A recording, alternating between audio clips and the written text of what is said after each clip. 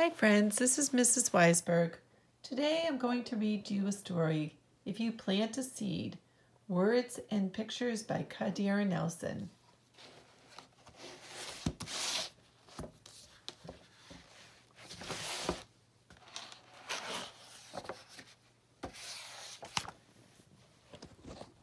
If you plant a seed, a tomato seed, a carrot seed, and a cabbage seed,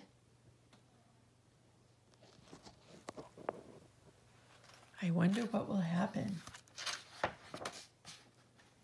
In time, with love and care, oh, see the rain and the sun. Tomato, carrot, and cabbage plants will grow. Oh, how does Rabbit and Mouse feel? They're jumping up and smiling.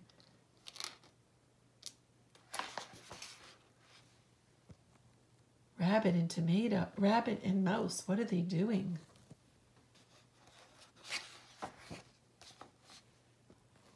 Why is Rabbit hide, trying to hide his carrot from the birds? What are they thinking?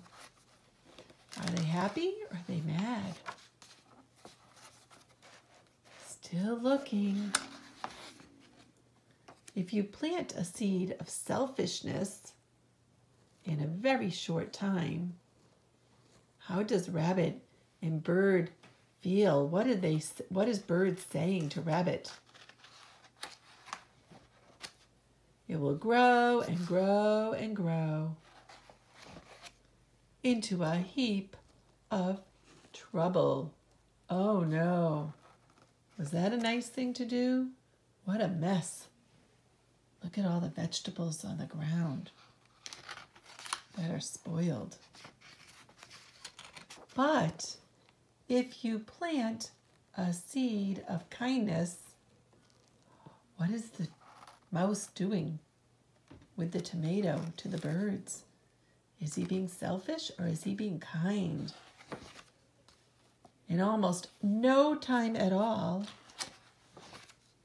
the fruits of kindness, the birds are dropping all those seeds, will grow and grow and grow.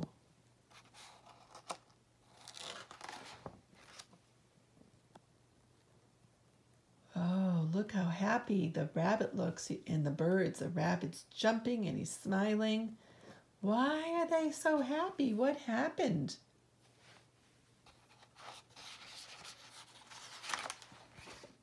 And they are very, very sweet.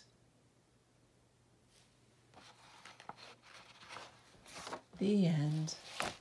I hope you enjoyed the story if you plant a seed.